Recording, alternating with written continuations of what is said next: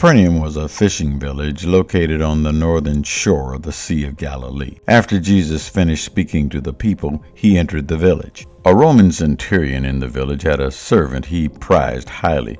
This servant was on his deathbed, and he didn't want to lose him. So when the centurion heard Jesus was back, he sent leaders from the Jewish community to ask him to come and heal his servant. The Jewish leaders went to Jesus and urged him to help, saying, He deserves this. He loves our people. He even built a synagogue. Even though Luke is a man of detail, the Roman centurion is never named.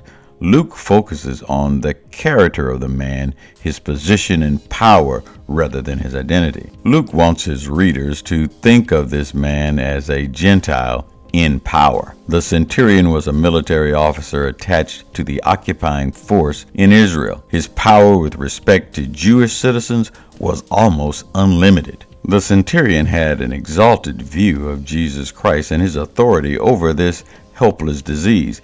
He knew that his servant's condition was desperate and beyond the realm of his authority. The centurion valued the sick servant so much that he was willing to send Jewish elders to intercede for him and convince Jesus to come and save his servant. Our Savior went to help out of mercy. Remember, the centurion had unlimited authority over the Jewish citizenry. Jesus is a man subject to the centurion's political authority, but the centurion does not send soldiers to order Jesus to help him, but he sends Jewish leaders hoping that they can persuade Jesus to heal his servant. Now, Jewish elders interceded because they felt the centurion worthy of the Lord's mercy, since he had been kind and loving to the Jewish people and this was generally not expected from Roman authorities. Now let's put this in context. The centurion humbled himself to ask Jesus to physically heal not himself, but someone else, a servant, a young lad in pain who is likely Jewish, and now he is asking a subject of Rome to do him a favor. The centurion is appealing to Jesus out of human need, not because of his power or worthiness or merit. The centurion offers nothing in return for the healing of his servant. When Jesus was a distance from the house, the centurion sent friends to talk to Jesus. The centurion sent a message indicating that he was a man who must follow orders from his superiors, and he gave orders, and they must be followed by his soldiers. Now, why did Luke think this important to include? Well, the centurion, like us today, interprets the world through the experiences of his life. The centurion is saying, I know how the world works.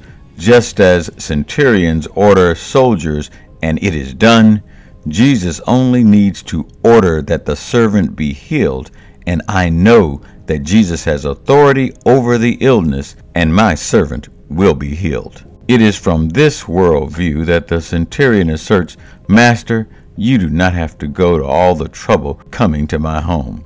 This Roman officer says that he is not worthy of a visit from Jesus to his home, and that he is not even worthy to visit Jesus. But even in his self declared unworthy state, the centurion believes that Jesus only needs to give the order, and as a superior authority over the illness, he will be obeyed, and his servant will get well. As modern Christians, we sometimes are so disappointed in ourselves, we feel unworthy of God's grace.